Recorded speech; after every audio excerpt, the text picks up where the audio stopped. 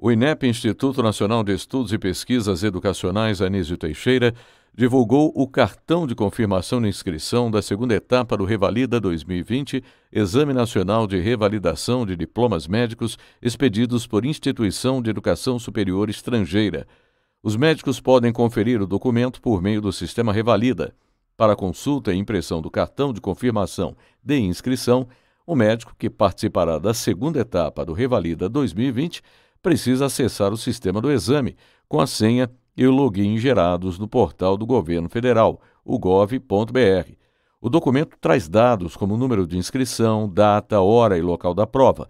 Também indica o atendimento especializado e o tratamento pelo nome social, caso tenham sido solicitados, além de orientações relativas ao exame. O INEP recomenda que o participante leve o cartão de confirmação de inscrição nos dois dias de aplicação do exame que ocorrerá em 10 e 11 de julho, nas seguintes cidades: Salvador, Belém, Brasília, Campina Grande, Campo Grande, Curitiba, Fortaleza, Maceió, São Luís, Teresina, Uberlândia, Vitória e São Paulo. Da Rede Nacional de Rádio em Brasília, Dilson Santa Fé.